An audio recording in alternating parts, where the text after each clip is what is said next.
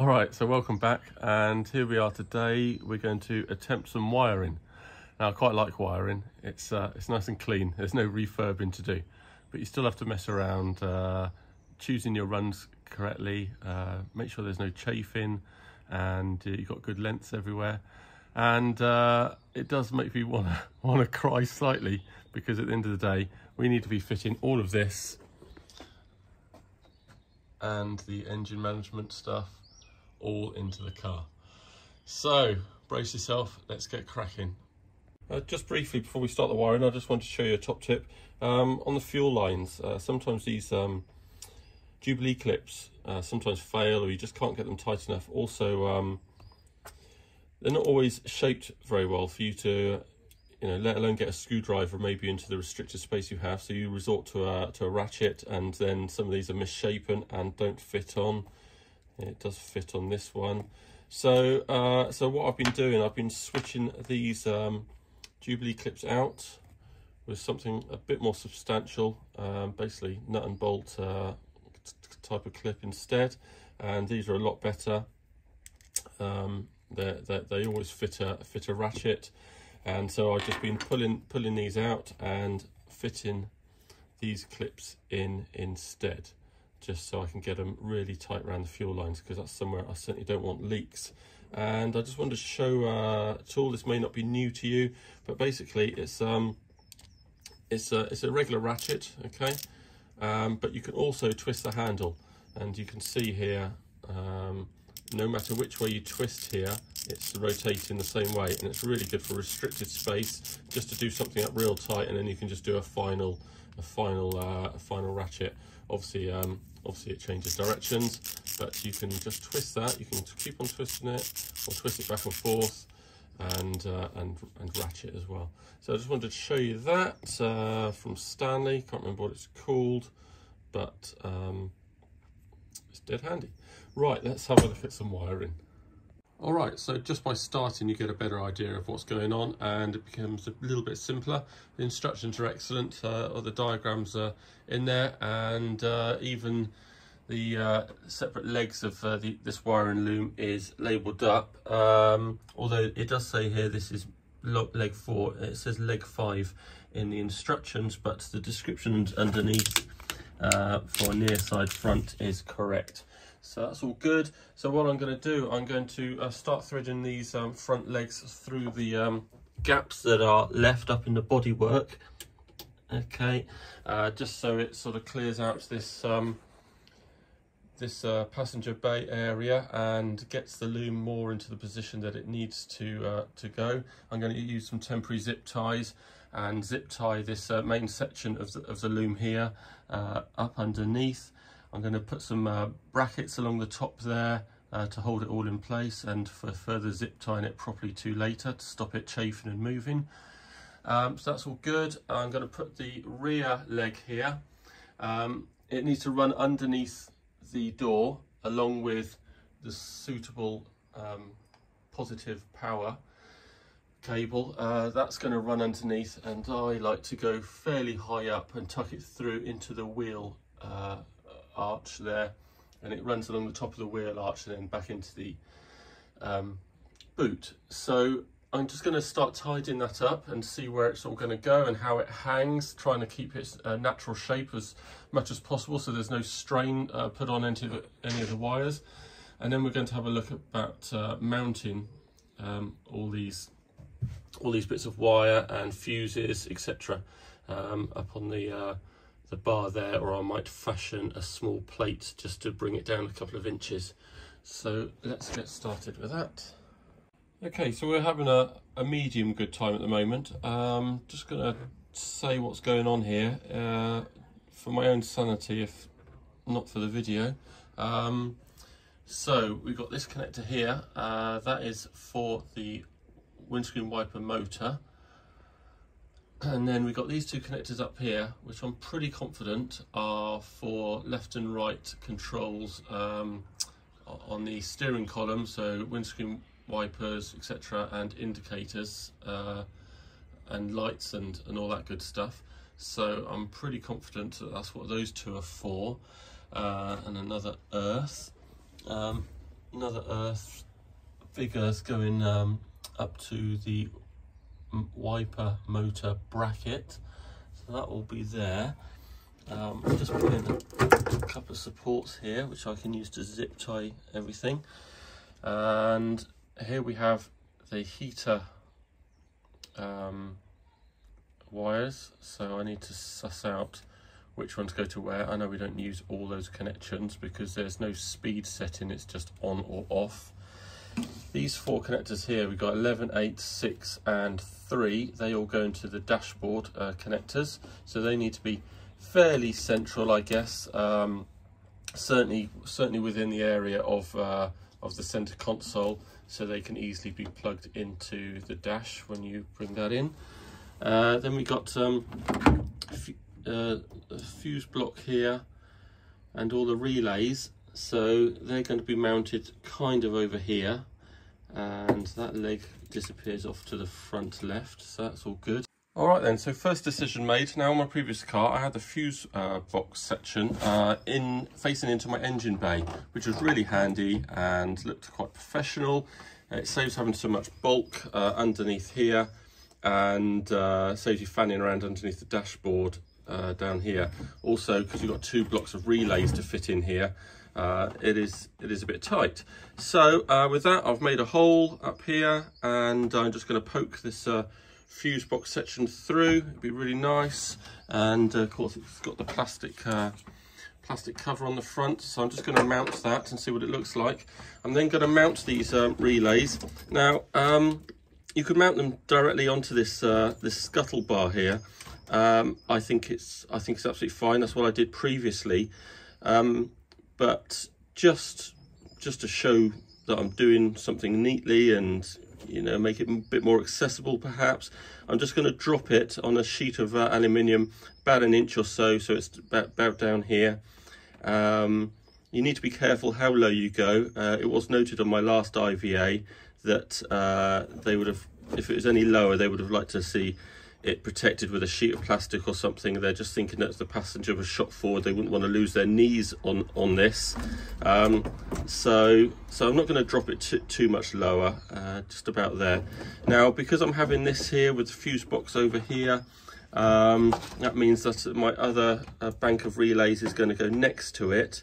Uh, it should probably go on this side because there's a connector here that needs to connect up to this uh, connector uh, it's going to make this, um, uh, it's going to make it too short basically. So I'm just going to uh, get another couple of those um, blocks, blocks here and just make a little extension of about six, nine inches just to hook that up if it doesn't quite reach. But I think uh, having this block of uh, relays here with the next block there is uh, going to look pretty good. So I'm just going to mount all that up and get a little sheet of alley and uh, mount the relays up there. Let's have a look. All right, so a little bit of progress there. As you can see, I've got the fuse box now in the engine compartment, which is really nice, really accessible. Dead easy to pop that cover off and uh, get to the fuses. Uh, so uh, I haven't zip tied anything yet, but you can see here that this is all looking pretty neat and tidy, straight along there. Now, um, I've left a gap here because um, you do have to fit the ECU somewhere from the engine management loom, etc. And I'm going to be mounting it just straight up here underneath uh, on the roof of the uh, passenger bay uh, compartment here. And you do need to leave room for a cable to um, to come out here. So I'm just going to put a bit of um, end in end uh, uh, rubber rubber U protection on the side here, so nothing can wear or anything, but this cable will be coming out here and then going into the engine bay, probably um, in the middle there through a nice, uh, pretty grommet. And along with the ECU, you also have um, uh, another another block here, which uh, fortuitously um, has the same fixings as all the others. So that's just going to slide straight back on this block. Um, I've got a about 10 mil clearance here in case um, any trim or any carpet needs to come up here but in reality I think uh, I think it's going to end end uh, about here because you can't see any of it. Um, but then this block can push back nice and flush and and uh, then you've got the big ECU connector here that will be clipping on the front of the box and the rest of the wiring looms straight out to uh, the engine bay so that's uh, pretty nice. So um, happy with all of that. So I think now I'm going to just make the holes for each of the legs that go down to the headlights etc uh, down inside. You need to make a hole um, just inside the uh, just at the top of the wheel wells so they can pass around the top of that and get to the headlights. Okay so that was all pretty simple. Uh, just had to pass a grommet over all of these wires and then make a hole uh, up at the top of the footwell there and fit the grommet. So uh, chose the smallest one possible. A little bit tough to get over some of these joints, but uh, it was okay in the end. So I've got all the wires uh, hanging out of the passenger side and we've got the wires uh, coming out here for the driver's side. Uh, what else did I do? I passed through also. Um, so you've got uh, you've got a horn wire here, and I also passed through the washer fluid motor uh, cable, which is just a separate long one. So I'm going to be buzzing through another grommet, uh, maybe about here, straight through um, to the horn and to the washer fluid. So that's all fine. And then uh, hanging out the side here, I guess you've got uh, side indicator repeater, um, the brake fluid level and the brake uh, switch. So that's all fine. And now I'll uh, tackle the back wiring loom. Alright, so the rear wiring is well on its way. Uh, managed to get to the holes uh, for the rear loom and also your uh, power cable. Um, quite nice and high up, up here. Uh, which is quite handy because uh, your outside sort of door skin uh, fits around here. You're going uh, to have to mount blocks of wood if you're fitting it yourself. Blocks of wood around here to support to support the door skin. So this is so the holes are nice and high and won't get in the way. Um, so I'm quite pleased with that. Let's have a look underneath the wing here. So I've got them as um, got the cables as high as I can to keep them out of the way obviously of the wheel. And these will go round into this nice uh, kind of channel around the top here. I'll put some uh, plastic conduit around the power as well. And then that will all go up uh, around the top of the wing held in place by little zip ties just to buzz a couple of holes in every uh, 25 centimeters or so. And then uh, they go and drop down into the boot there. Uh, on the way, uh, you got two, you got two cables here, uh, which are for the boot light, I believe, number plate light, and also your fuel level level sender. So I'm going to be buzzing a couple more holes in here and dropping them straight down inside or maybe a little bit further back so they uh, can't be seen so much. Um, and uh, that is the rear wiring loom so far. Here we are with the uh, engine leg of the loom.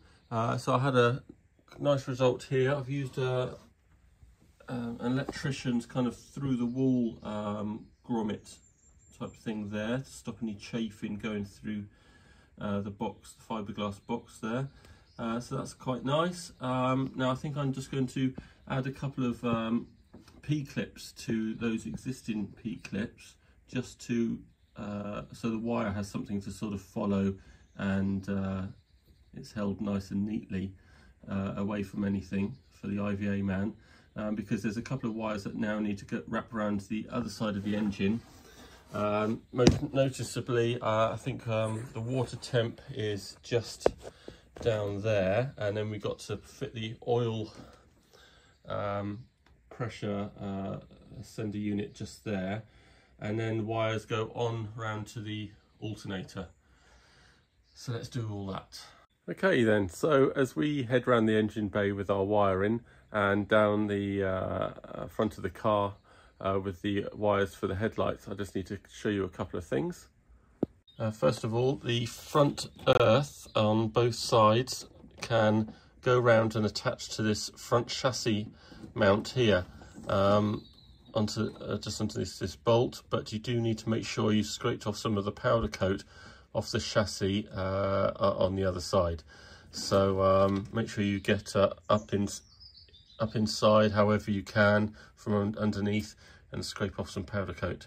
Second of all, uh, as I head around the engine bay, I need to fit the oil pressure sender unit uh, and and uh, I think that makes the light go on and off uh, on the dashboard.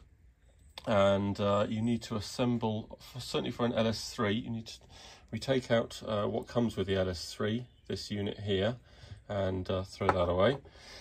And then you need to assemble all of, all of these sections um, and they're basically just just thread reducers etc let me just show you that so that is it. Uh, so this uh, this one here uh, that goes into the engine block and then you need this uh, reducer so that you can put this unit in. Uh, this screws into the side of that. Once you've done all this up you need to uh, add that last because you can't rotate this round with that attached. And then finally this goes in. So I'm going to put all these in together now, nice and tight, and then put it all into the engine block and then turn it around and hopefully uh, this hole will line up uh, and give me space to add this unit. Right, so this unit didn't work out. It was a really good solution, uh, I thought, um, but unfortunately, although the loom fit through it after I made it, uh, trimmed it out a little bit, um, I forgot totally about the massive positive uh, cable coming from the battery and it was just not, not having any of it and it was too tight to be comfortable. So we have reverted to a um, to a uh, grommet down here.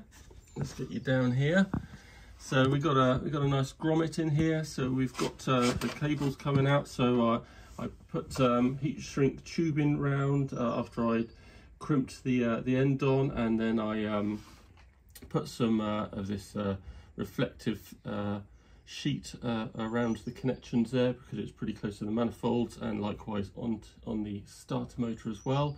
So after that we've got the temperature uh, up here. So just cut that short and put the temperature um, sensor in there and wired that up. And then around here we have uh, the oil sender and light unit um, so we cut those short and wired those up I just put them neatly underneath the uh, water pipes I've got here a couple of zip ties straight underneath so that's all tucked away uh, and now we're starting to look at other things because the cables I've got left over from the AK loom, uh, a couple of them I think connect to the ECU, so I need to look at that.